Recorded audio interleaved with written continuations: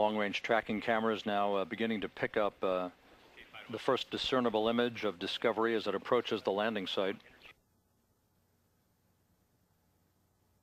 Five and a half minutes until touchdown.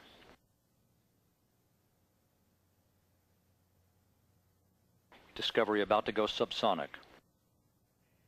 Discovery Houston on energy approaching the HAC. No changes to winds or weather.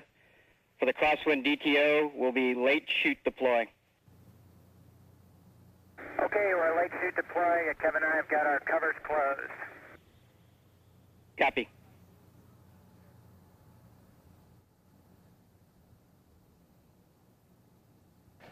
Four and a half minutes until touchdown. Discovery flying straight as an arrow. Soon to go subsonic. 11 miles in altitude, just 65 miles from the landing site.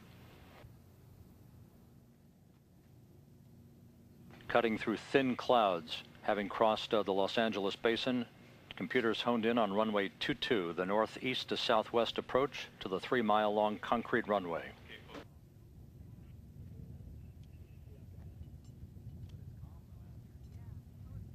Discovery approaching the heading alignment circle, that imaginary cone around the landing site that the pilots use as a point of reference to align their craft to the landing strip.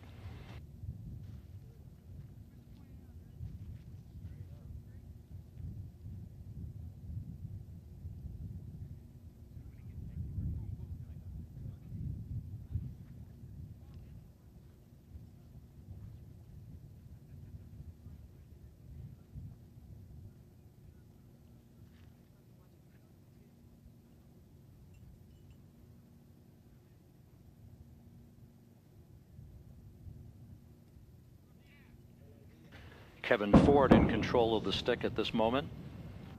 Re Discovery now going subsonic, the fleet leading shuttle announcing its arrival at the landing site with a pair of sonic booms. The late afternoon sunshine gleaming off its thermal protection heat shield. Three minutes until touchdown. Rick Sturckow has taken back the stick from Kevin Ford. The vortices off the wings, very obvious. Discovery continuing its turn around the heading alignment circle, aligning with runway 22 at Edwards Air Force Base.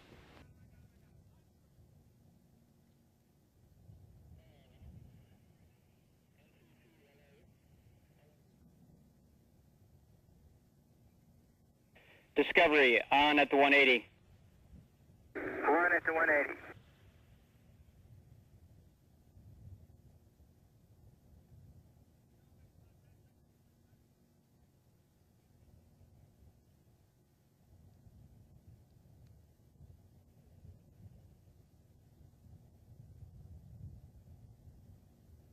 The slow, gentle turn around the heading alignment circle.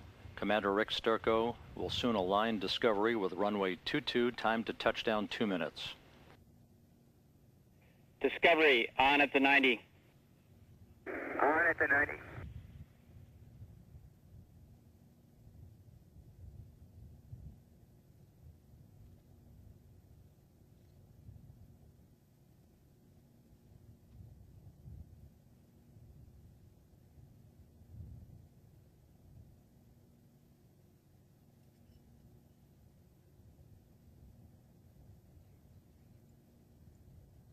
Runway inside Houston.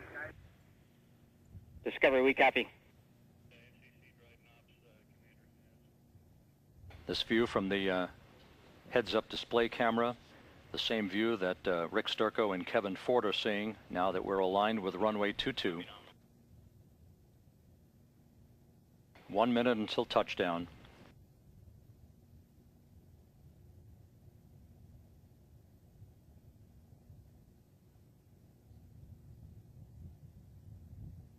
Discovery right on the center line. Moments from now, Rick Sturckow will flare up Discovery's nose. Pilot Kevin Ford will deploy the landing gear.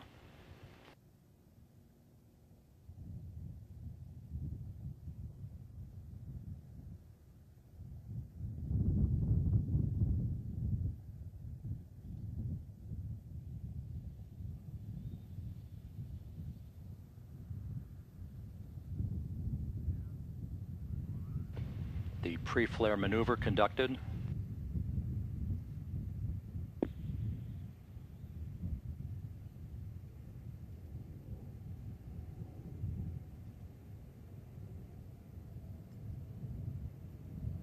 Landing gear down and locked.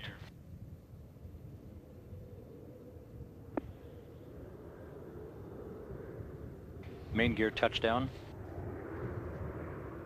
Kevin Ford now deploying the drag chute. Nose gear touchdown.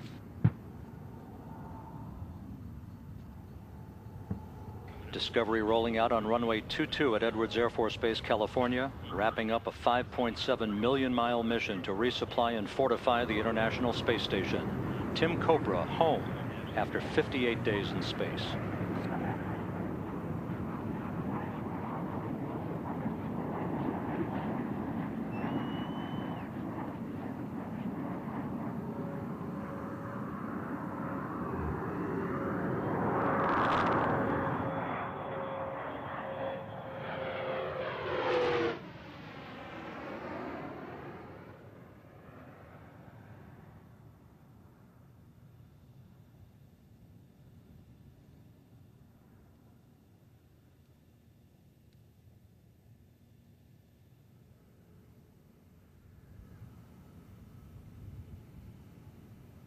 Houston Wheel stop.